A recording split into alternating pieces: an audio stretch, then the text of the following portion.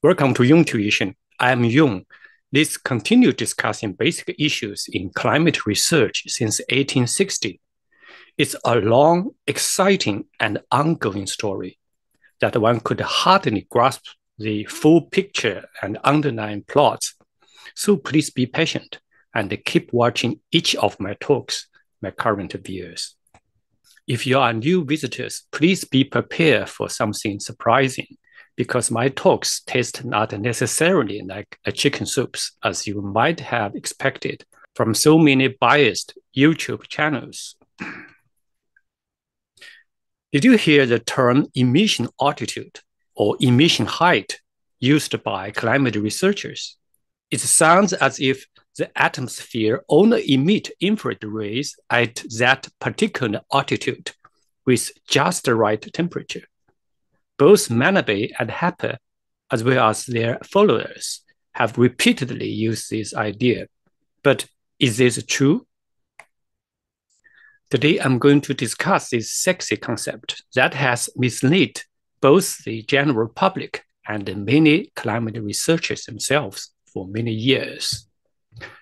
I'm sure you'll be delighted by watching this unique talk, no matter what your opinions might be. So are you ready? I mean, to like, to share, and to subscribe, as well as to activate your little bell. Okay, let's go and have fun.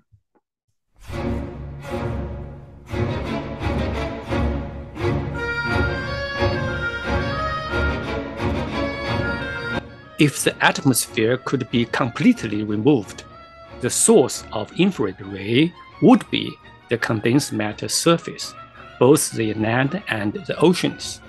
In this case, one can say the emission altitude or emission height is zero because nowhere above the surface could emit.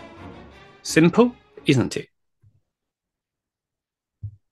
With the atmosphere, however, things can become more complicated because infrared ray can be emitted from different parts of the atmosphere although not all of them can reach to outer space.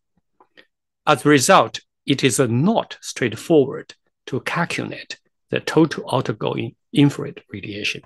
Stefan Boltzmann says once radiation intensity can be measured, which is in watt per meter square, a single equilibrium surface temperature of this source can be calculated. This type of temperature is defined as emission temperature. If one measures the outgoing infrared radiation of the Earth from the satellite, the mean emission temperature would be close to 255 Kelvin, which is apparently 33 Kelvin lower than the mean surface temperature, 288 Kelvin. Interestingly enough, the kinetic temperature near the altitude 5 kilometers is equal to 255 Kelvin. If we use the lapse rate 6.5 Kelvin per kilometer for the troposphere. Can we simply conclude the emission altitude of the Earth is closer to 5 kilometers above the surface? Indeed, since Arrhenius, it has been taken for granted by many meteorologists to think so, including Manabe. To make a judgment on this popular description, it is necessary to understand what an equivalent quantity is defined in physics and astrophysics. If an object is far away, one may treat it as a point mass, which is a mathematical point. In doing so, all details of that object are omitted. For example, when the radiation intensity of the remote star is measured and converted into the emission temperature by Stefan Boltzmann law, it is impossible to work out the vertical distribution of its actual temperature profile from this single value emission temperature. Therefore, it is conceptually wrong to consider the equivalent emission temperature of the Earth, 255 Kelvin, as the same as the kinetic atmospheric temperature at 5 kilometer altitude. Why? Notice that the 255 Kelvin is derived from the Stefan Boltzmann law for a black body. A black body is an ideal model whose emissivity is 1 or 100%. But the emissivity of the real atmosphere is always less than 1, and hence cannot be treated as a black body.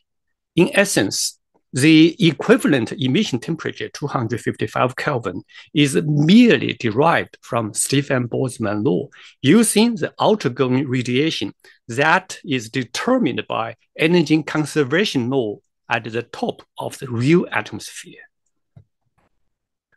To be exact, 255 Kelvin is determined by the solar constant and the planetary shortwave reflectivity called albedo.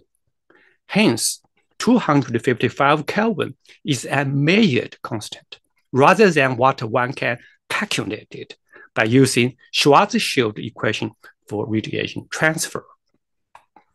To understand this subtle concept, one needs to know the Earth is capable of counteracting any small imbalance in its outgoing infrared radiation, such as volcanic eruptions, without humans' help, as she had done it for billions of years before humans appeared.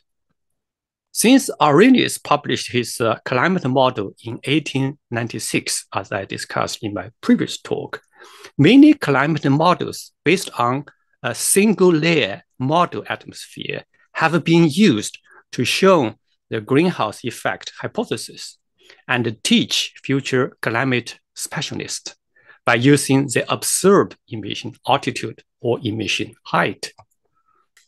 By way of implication, both the emission temperature and the emission altitude are associated with the single layer in such climate models. Meanwhile, the emissivity of the single atmosphere layer is extended from 1 to between 0 and 1 in order to make such a single layer atmosphere functionally versatile than just a black body. That is their motive. Actually, Manabe also used a single layer climate model in his talks. You can see it, although the thickness here is not infinitesimal. Unfortunately, that is why the singularity catastrophe show up as I first reported in my previous talk. Please watch it and make a comment if you haven't. I have spent $300 to promote this talk so far. I'm writing a paper now on this new discovery. Of course, one should not underestimate such a well-designed narrative that has been endorsed by many well-trained meteorologists and physicists for 127 years, including William Happer, because this is just their starting point to describe the greenhouse effect type 2. Namely, CO2 can further warm the planet. If you have watched my two talks on Simpson's multi-layer atmosphere model, you might have realized that all layers emit infrared ray upwards from the first layer attached to the surface to the top. But there exists a layer near the surface whose infrared emission to space is the maximum, as shown in this diagram. In addition, it was also shown by Simpson that the higher the concentration of water vapor, the higher the altitude with the maximum emission will be, as shown in this diagram. Sounds familiar if you watched the Manabe's talk before. As indicated by the point A, allow go upward. Now, because temperature of troposphere decreases with increasing height, so that effective emission temperature go up higher, that means it's reduce outgoing radiation. The more opaque the atmosphere, higher is the effective center of emission. One moment, replay. Did you see the greenhouse effect on the, the triangle Let me enlarge it for you. Can you see it now? Manabe calls the bottom side of this right angle triangle as greenhouse effect. Actually, it is a greenhouse effect type 1. This is absurd. I believe over 97% of meteorologists would think of lapse rate when they see this right angle triangle if they had not been brainwashed in a magical greenhouse. Don't you agree? I am sure Manabe could train his dog to bark whenever he or she see number 33. yeah. Return to the basic issue.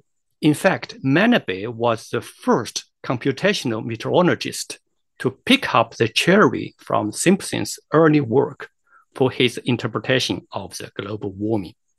Nevertheless, Manabe had ignored the fact Simpson's paper is on water vapor in the atmosphere rather than CO2 and other trace gases. To be more specific, the apparent upward shift of the altitude with maximum emission to space is caused by the relatively high humidity near the warm surface from zero to about five kilometers in altitude.